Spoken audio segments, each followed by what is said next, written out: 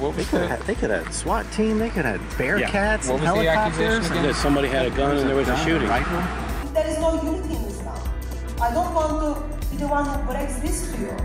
You're saying that there are moral obligations that would apply to anyone, not, not just us. Palestine in the Quran. I read the Quran and I studied the Hadith and Muhammad forgot to mention the word Palestine zero times. All right, now I'm definitely a vlogger. um, hi.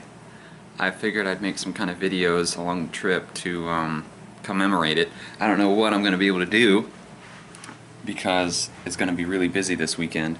Um, last night, let's see, um, I got to Steel Valley Church, and when I came around the corner, it was like, well, I had been driving through what looked like kind of a rough area. I came around the corner and I was like, whoa! Because I'll show you a picture, but this church, it looks like maybe it was a Catholic church or something at some point. It's this huge, old stone, beautiful building. And they hosted the stuff last night, so I got to mingle a little bit, and it was still super cool to be able to see all these people in person. Um, people that I've been following online and talk to sometimes in live streams and things like that. But now I, you know, I get to see them in person and shake their hand and that kind of stuff. And then um, Lewis Lionheart, which is a great name by the way. Lewis Lionheart and Hatun Tash talked about Dawa, which is um, Islam's version of evangelism. It means a call. So Dawa is essentially referring to calling people to Allah. And that devolved really quickly because Hatun is a very uh, personable woman and wants to have conversations with everybody. So they started the, the presentation, but there's a Muslim in the audience and he spoke up.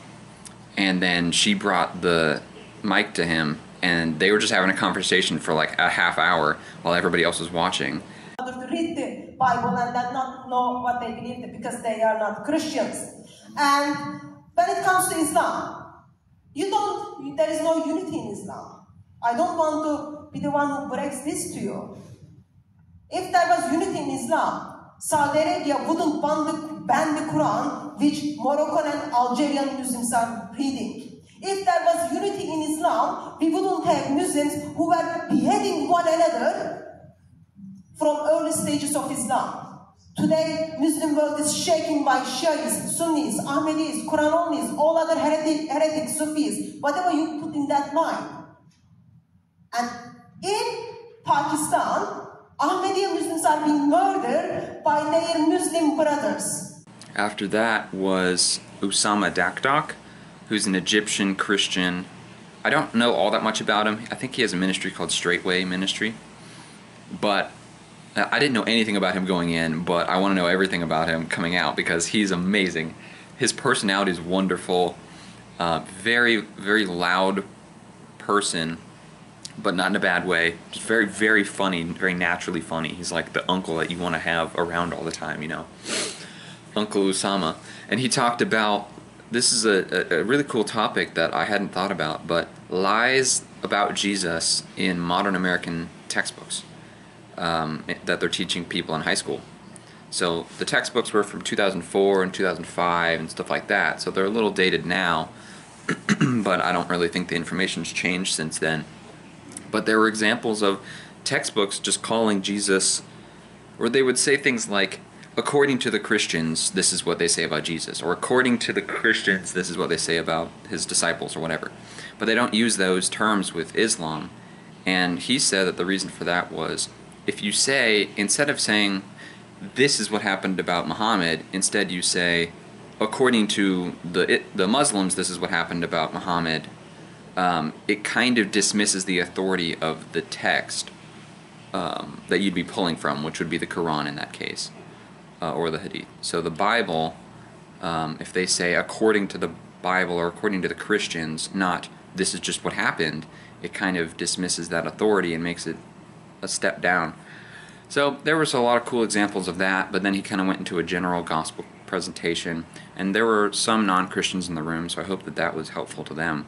Um, let's see. Then they had a panel, and they asked us, would you rather have because it was getting late at that point they asked us would you rather have a, a q&a panel for an hour or just mingling and i was kind of silently thinking mingling because that meant i could slip out and go to the hotel but they said q&a so we stuck around for another hour and 10 minutes or something and it was good q&a i asked a question about um, um, a girl i know who is trying to get married to a muslim and there's a, bu- a bunch of emotional baggage there um, so it's hard to talk to them about Islam.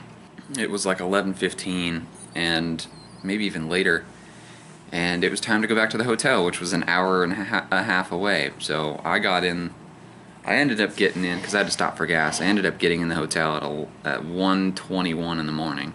Now I'm here, waiting for Ernest to uh, get finished getting ready, and we're gonna head to brunch in Cleveland, Ohio. And then the rest of today, after that, there's some more presentations. And tomorrow was it, it's a day full of presentations, but I got invited to do something kind of special. So after uh, there's a presentation by Vocab Malone at 11 on the Black Hebrew Israelites. After that, he's going to drive to Cleveland and spend a few hours there uh, talking to some. And so he invited me to go with him. So I think I'm going to go do that. So yeah, that's about it. I guess I'll see you later. We're outside First Cleveland Mosque in Cleveland, Ohio, uh, looking to hand out some stuff to the Muslims once they, once they come out of here. But it looks like somebody called the cops on us, so let's let's see what's happening.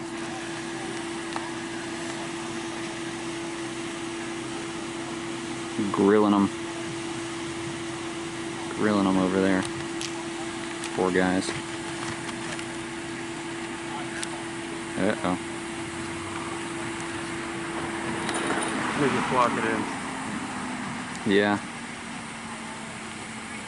What are you Christians doing over here? Know, they have the responsibility to recover. So that's it's not a bad thing. Well, Well, the, they, they didn't tell them to leave. That's the other. yeah, that's what I was just gonna say. The fact that they kept on walking means, They can't tell us to leave. Oh, that's that's the point. It's the joy Yeah. of being in the, this country. Yeah. yeah. Thank goodness we're not in North Africa.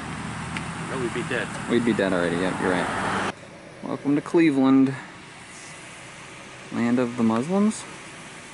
It's our lives in danger, you know, from you guys. And he was like, well, imagine, imagine like us. And I'm like thinking, how are you, how's your life in danger coming to a scene where there's no trouble? You know what I mean?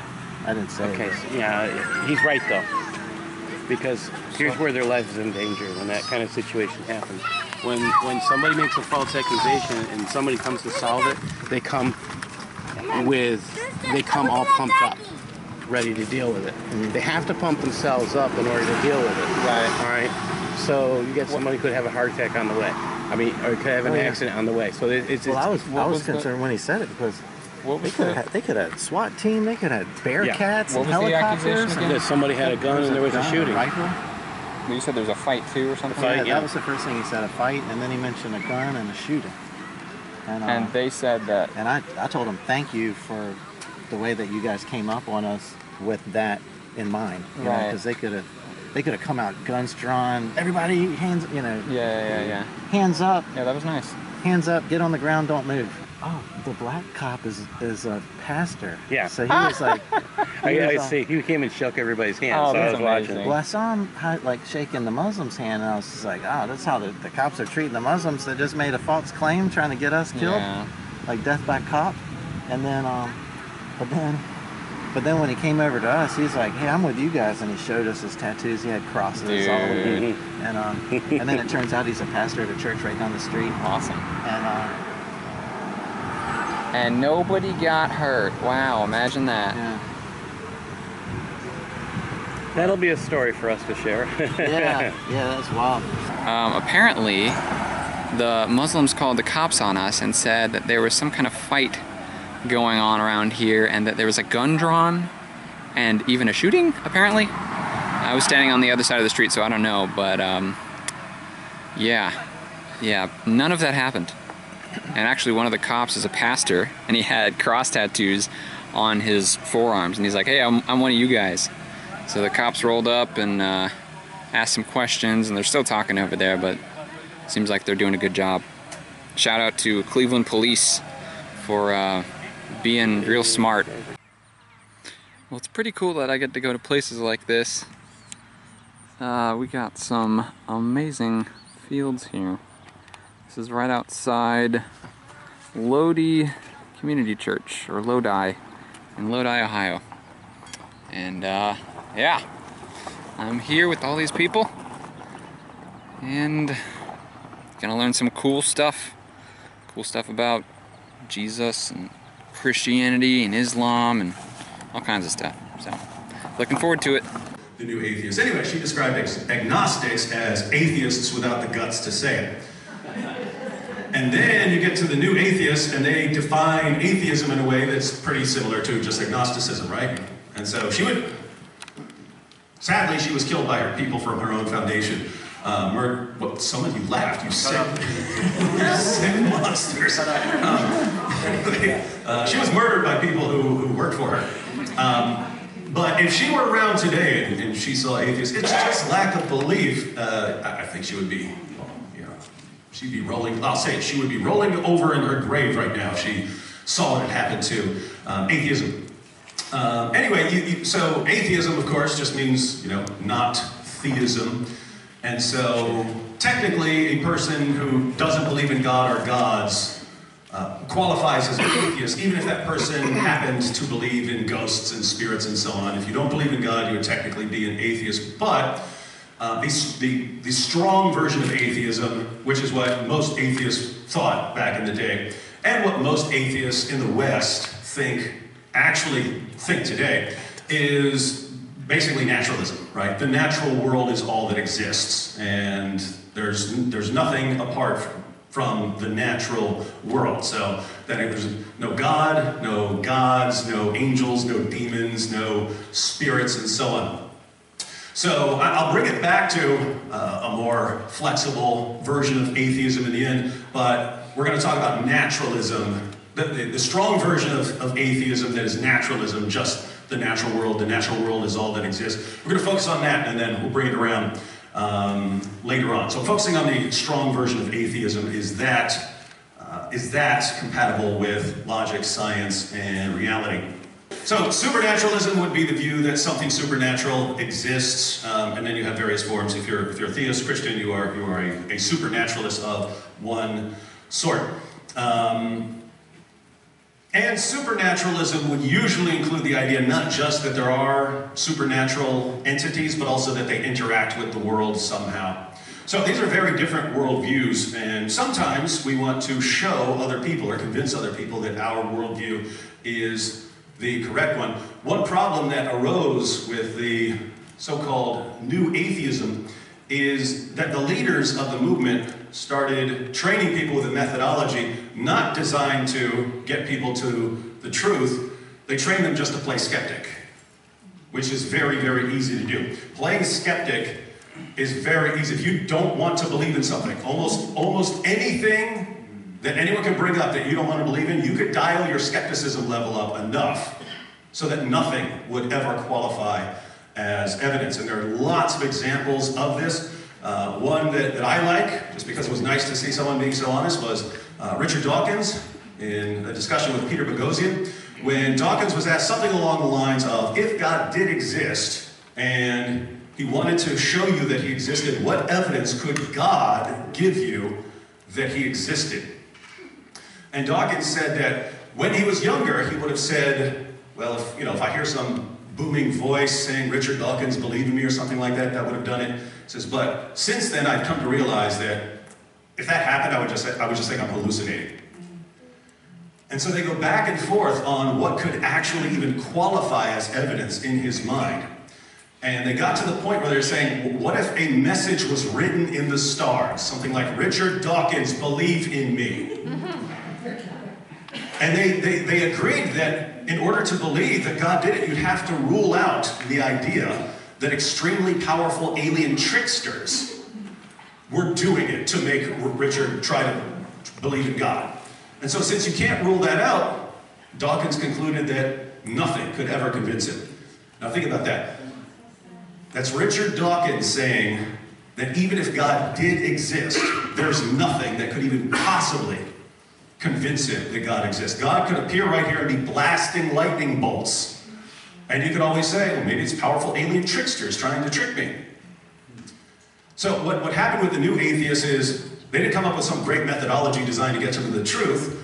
They constructed a position that is immune to evidence that goes against their position. And there are other positions that can do that. Uh, metaphysical solipsism is a view that does that. A metaphysical solipsist is someone who believes that he's the only thing that exists. And that the world around him is just something he creates in his mind to entertain himself for all eternity. If you were to encounter a, an actual metaphysical solipsist, what evidence could you give that person to convince him that something outside of him exists? The answer is nothing. Because you'd be sitting there talking to him, he thinks you're a figment of his imagination. There's no evidence you could possibly give him. So, naturalism is, is more like an expanded version of that. A metaphysical solipsist is I'm the only thing that exists, and a, a metaphysical naturalist is, you know, the, the, the, physical world is all that exists. And so, um, you've got our good friend uh, Richard Dawkins, who ironically has spent most of his career challenging theists to give him evidence for God, and yet, when it comes right down to it, he acknowledges there's no evidence you can. Put. Isn't that weird? You develop a methodology that's immune to evidence, and then you go around, where's your evidence? Give me your evidence. I'm going to reject it no matter what it is, even if it's airtight, 100% certain, I'm still going to reject it, but come on, give me your evidence. I have to point out this, again, this method could be used to reject absolutely anything. If I asked you, if I, if I lit a match or a lighter right now and I asked somebody to come hold their hand in it, most of you are going to say no. And anybody that says yes, probably, you know, it's not because you don't know what's going to happen, but maybe you've got uh, a streak of uh, self-mutilation or something, I don't know. But the fact is, everybody knows not to touch the flame, it'll burn you. Now, how long did it take you to learn that? One time touching a flame usually results in a person never wanting to touch a flame again. And if you do, it's accidental. Right? You were careless or something like that. Well, think about what this implies about reality. Where did you get the idea that what you saw happening right here at this particular moment was true in all other instances of this? You haven't experienced every flame in the world, have you? How do you know that the next time you touch a flame it's going to burn you? What you're assuming, this, this is recognized by philosophers like David Hume, who, by the way, puts to shame contemporary atheists. People like Dawkins don't have to hold a candle to David Hume. David Hume really was a brilliant man. He was an atheist, but he was made in the image of God. He was utterly brilliant. So was Bertrand Russell. And both of them said this principle that we all assume has no foundation given atheism. Because what you're doing is you're assuming that what you experience in one place is, is a type of event so that where you experience that same sort of thing elsewhere, it has the same results. We all do this. We, we learn from experience. You experience something one time or two times or three times, and you eventually generalize it. Right? One instance, two instances of touching a flame lead you to conclude, okay, fire burns. You, so you don't have to have universal experience to draw the conclusion from a couple of examples that uh, fire burns. But here's why David Hume and Bertrand Russell had a problem with this as atheists. They'd say, first of all, they, as atheists, they said all knowledge is based on observation. Well, how many of you have observed all instances of fire? You don't have universal observation. It all rests on this idea that nature is uniform. But wait a minute, do atheists have this belief that nature is uniform? And, if it's uniform, maybe it's just uniform today but not tomorrow. Why do we project onto the world this continuity? It all seems to assume that we live in an orderly world. But on the principles of atheism, there's no basis for that belief. The prayers of Muslims are not a peaceful prayer. It is a savage prayer, and it should be the reason why Muslims should never have a mosque or Islamic center in America. When you attend master session, you find out why. So we'll move on. This is my beloved wife, Vicky. She's and I. Uh, Vicky and I have been married now for 33 years, and I believe that these are the best 33 years of her life. and obviously, she's not here, so I can say whatever. All right, Israel or Palestine? Israel or Palestine. It's not Israel and Palestine, it is Israel or Palestine. And by the way, the problem we have here have nothing to do with the land. And I explain to you can actually move all the people of Gaza to one of the small uh, that you see on the screen here. See the design over the Palestinian flag. By the way, you may hear me say Palestinian, Palestinian, Palestinians, Palestinians. It's the same thing. Arabic, English, all right? You can move all the people from, from Gaza Strip to one of these empty areas. They have more land than they can ever have. But the problem, once again, is not about land, it's about the hatred for the Jews and the Christians, which we'll be talking about in our broadcast uh, last session. If you remove the Jewish people from Israel completely, and give it to the Muslims, you think there will be peace between the Muslims and the Jews? No, they will hunt, as I always say, if you put the Jewish people on the moon, the Muslim will try to figure one way or another, send somebody to the moon to kill the Jewish people. How many times do we read the word Palestine in the Quran? I read the Quran and I studied the Hadith and Muhammad forgot to mention the word Palestine zero times. No kidding. I mean, if, if I open the Bible, I guarantee you there are what, 800 times the word Palestine, the word Palestinians, people group are mentioned in the. As a fact, we're going to read one, maybe if not today, tomorrow. Why Muhammad did not mention anything about Palestine or Palestine? In reality, Muhammad did not have one prophecy. He, didn't, he knows nothing about the future of anything. So why is he going to talk about that? Why is mentioned in the Bible? Because there was a people who lived there, and there was a promises or prophecy written about these people, the Palestinians, and we will find out what will happen then around 500 BC. So this is not this history. It was mentioned before it happened, and as it happened, and how it was ended. How about the next question? How many times uh, is Israel mentioned in the Quran? 44 times. Two times by, just by the name Israel, which is by the way Jacob, and Muslims do not know how the word that guy name changed from Jacob to Israel unless you go back to Genesis account. But 42 times Bani Israel, the children of Israel. It's all over the Quran. When you say that God should do, if God existed, he should do this, you're saying that there are moral obligations that would apply to anyone not, not just us. They're, they're, they're universal. Because those aren't available on your atheist friend's worldview, right? Where, where, where is your atheist friend getting ideas of moral values that would apply even to God if God existed? That means this person believes in objective moral values that apply universally even to a divine being. Well, that means you, you can't, you can't believe that, that, uh, that morality is relative or that it's just relative to culture, relative to persons, and so on. In other words, this would this would uh, this, this would kind of fall into presuppositional apologetics and so on. It's built into your atheist friends a, a, an ethical system that is inconsistent with that person's view. How do you how can you say what an omnipotent, omniscient, perfectly good being would do unless you think there is some there is some absolute standard of right and wrong that would apply even to God? Well, it's super duper late now.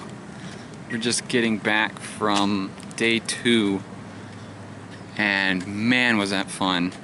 We did a little uh, recording of some YouTube video with everybody in the audience, and it was just hilarious. So, uh, gotta get ready for the next morning. Gotta get up and out early.